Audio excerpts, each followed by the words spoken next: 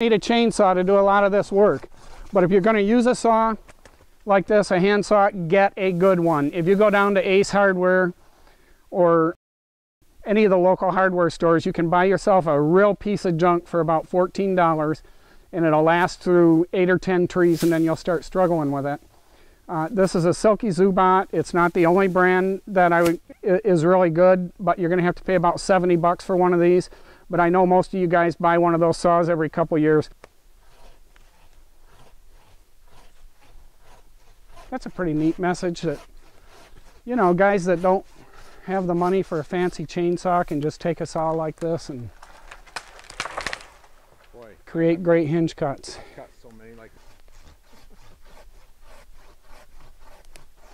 You can do a lot of damage with one of these little saws. See how much that tree wants to lean that way, but the hinge is causing it to go in this direction. I preserved that hinge perfectly. But if this tree releases on its own right now, it's going to pinch my saw because it wants to go over in that direction. So I don't want to cut too far. I want to cut just until I barely see it relax a little bit.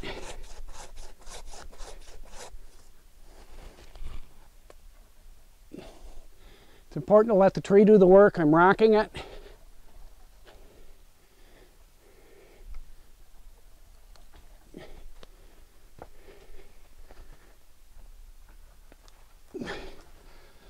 You guys that want to get out here and do this kind of stuff can cancel your gym memberships.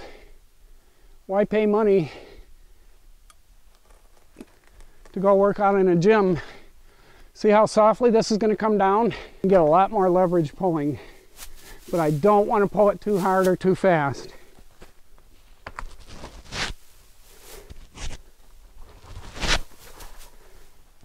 See, it's great that it's getting hung up like that.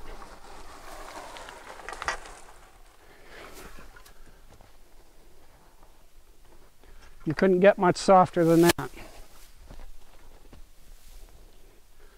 Now it's hung up on that little tree, so what do I do? I release the little tree.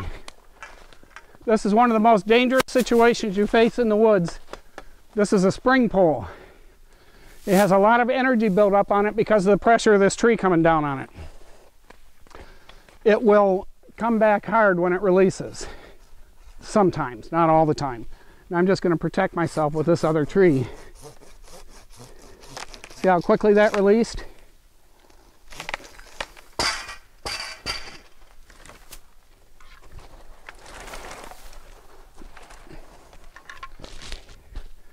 Now we've preserved our cat travel corridor through here. Here's the trail that we were working with. And we got a tree to come down softly. It's got a perfect hinge and we're good to go.